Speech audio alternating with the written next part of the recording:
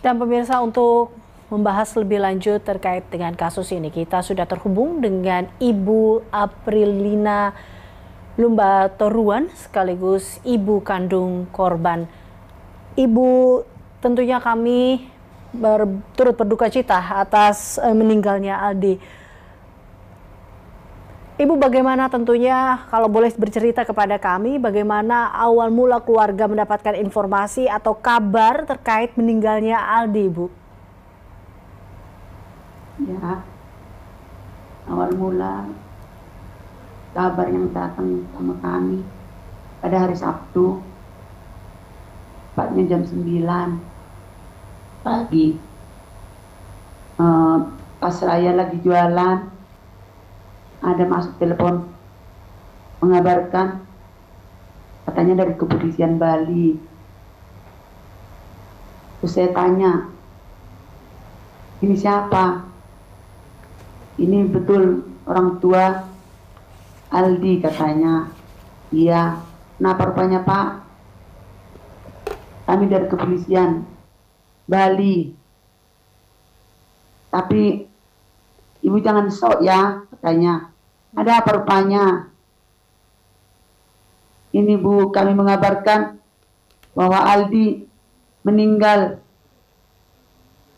di kamar kosnya. Baik. Katanya. Baik. Kata itu. Baik. Ibu. Ya, sebenarnya. Oke. Okay. Aduh Tuhan. Saya langsung pinggir balik itu nggak tahu lagi mana. Aku lagi posisi jualan sendiri di sana kebetulan nggak ada kawan.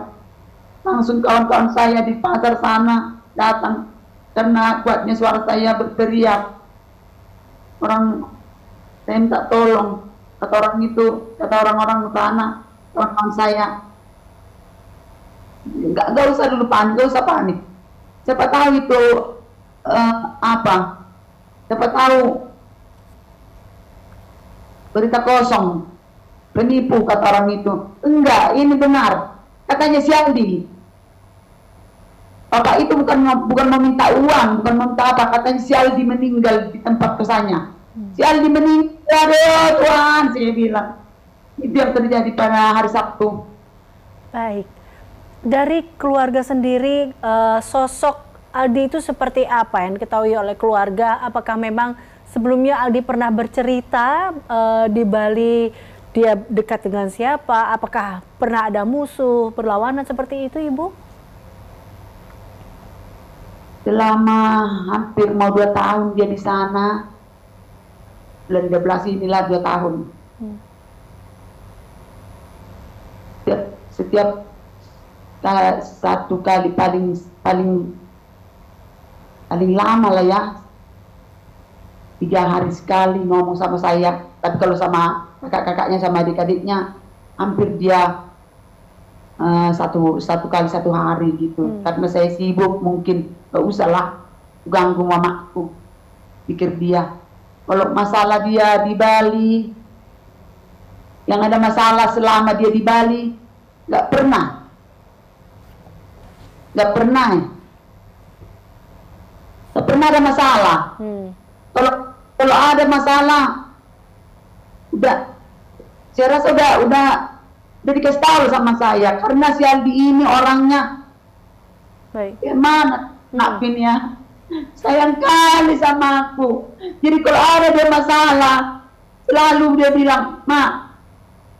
Sedangkan contoh kecil ya, masalah kalau dia kurang uang, pasti dia sampai ke mana lah ngomongnya sama saya. Hmm. mak kalau nggak ada uangmu mak Baik. dikit pun kita uh, bayarkan mak.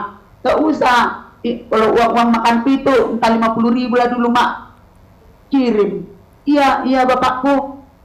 Loh, bisa lima puluh ribu. Nggak apa-apa. Iya mak lima puluh ribu dulu mak. Kalau udah aku kirim itu lima puluh ribu makasih anakku ma eh itu panggilan dia sama aku nggak ada nggak pernah dia cerita ada masalah di sana nggak pernah dia cerita pokoknya nggak ada lah masalah artinya Jadi, bahwa Ardi selalu terbuka kepada keluarga terkait apa pun yang terjadi di sana di Bali itu ya.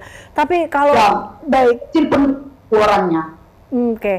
Uh, Bu Aprilina, tapi kalau tadi kita juga mendengar apa yang dikatakan oleh kakak dari Aldi di pihak keluarga melihat ada sejumlah hal-hal yang janggal atas meninggalnya Aldi ini.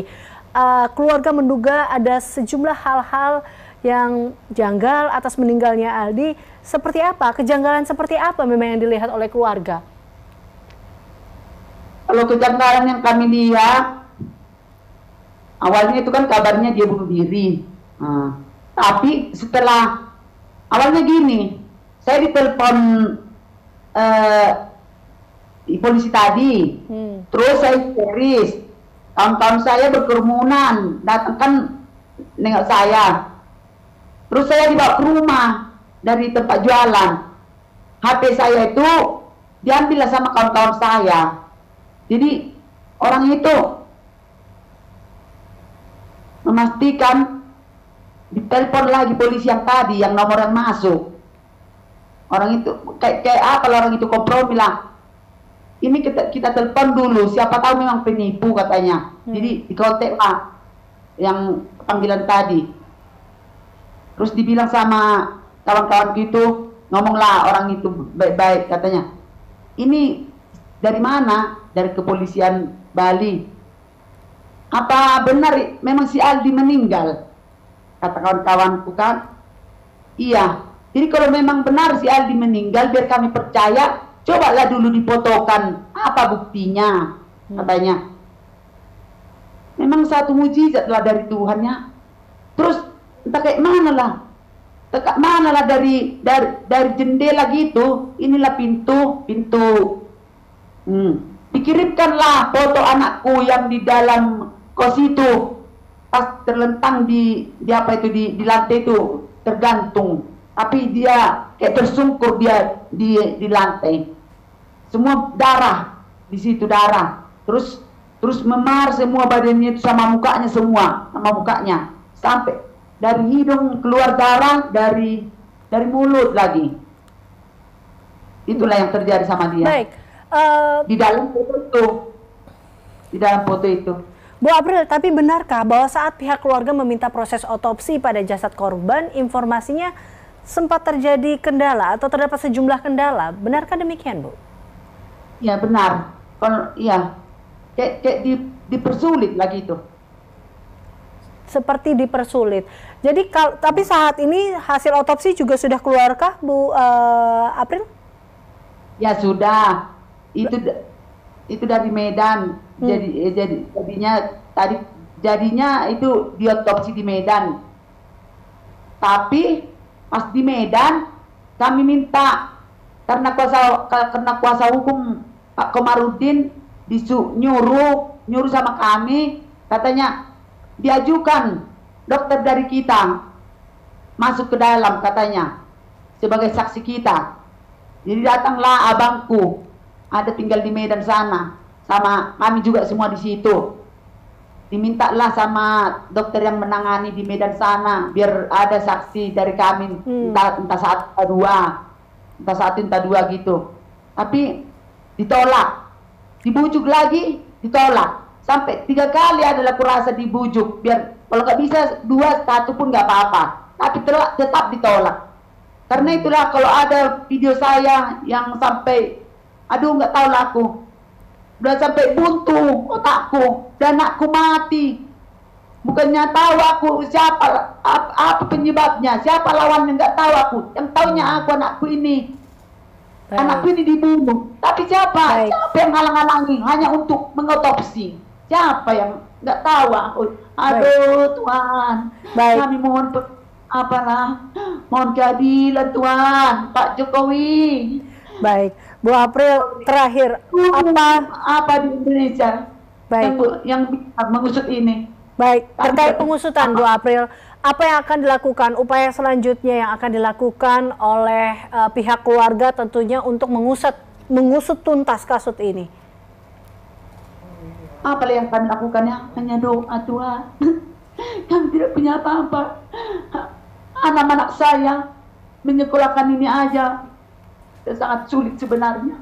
Tapi jangan se itulah yang saya dari dari saya lahirkan lagi. Janganlah sampai saya tanya hanya untuk menyekolahkan. Hanya untuk menyekolahkan aja susah. Apalagi mengusut persoalan kayak gini udah nggak sanggup aku aku bersama sama Tuhan lah.